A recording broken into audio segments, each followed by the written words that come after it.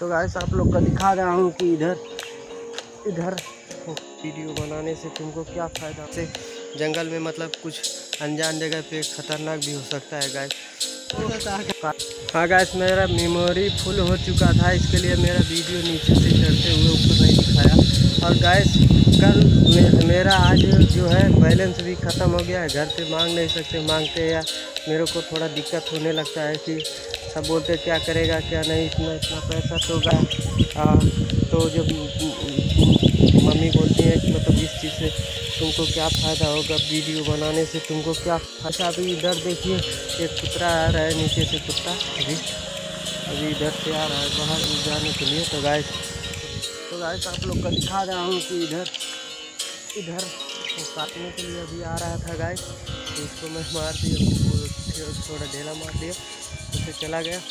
तो गाय आप लोग को देखते हैं ऐसे ऐसे जंगल में मतलब कुछ अनजान जगह पे खतरनाक भी हो सकता है गाय इसके लिए हम देखिए अभी कुतरा जो हमारे सामने हमको काटने के लिए कोशिश कर रहा था तो मैंने पत्थर उठा के उसको मार दिया तभी गया।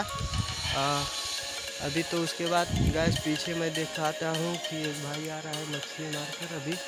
और इधर से आ रहा है मतलब इधर कुतरा तो अभी चला गया। अनजान में मतलब इधर देखो मच्छी लेकर। ये भाई मच्छी लेकर रुको रुको भाई। मच्छी लेकर आ रहे हैं। मच्छी है। तो गाइस मैं बता रहा हूँ कि आप लोग को मच्छी दिखाता हूँ। बहुत अच्छे टाइम पे मिला है। ये भाई मिले हैं। दिखाओ ना भाई। तो गाइस मैं बता दूँ कि भाई कितना भी देखिए मच्छी उच्छी पकड़ के। अरे यार ये कौन सी मच्छी है?